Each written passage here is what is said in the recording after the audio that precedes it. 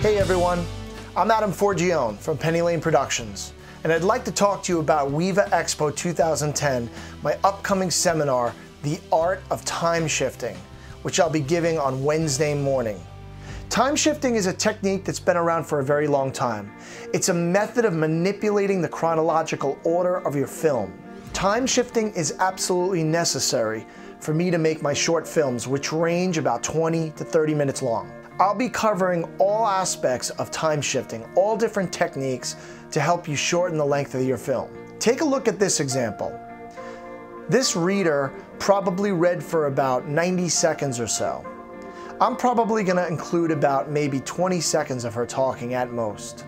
But it serves two purposes. A, I can keep it out of the ceremony, which means I'll shorten the length of the ceremony and make it more enjoyable to watch and B, I actually enhance the part that I put it on as a voiceover.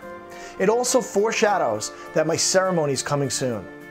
Now, I don't want to keep this person in the whole time in my feature film, but I do know that this person is very important to the bride and groom, so I do want to include them in some way. But it doesn't stop here. I time shift with everything. Preps, ceremonies, toasts, dances, photo sessions, cinema sessions, you name it. I'm not a fan of time shifting where you lose track of the chronological order though. In my instance, I manipulate it to help me make a shorter film. I also use it to help me shorten sections and help me change gears to shift me in and out of certain parts of my film.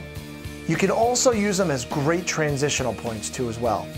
Anyway, I'm going to show you tons of clips and ideas, especially from my full films. I really hope to see you on Wednesday morning. And don't forget, I'll also be joining my good friends Ray Roman, Dave Williams, and Steve Moses on this amazing panel Tuesday night. Steve promises it's going to be extremely informative and he's going to really drill us with some good questions.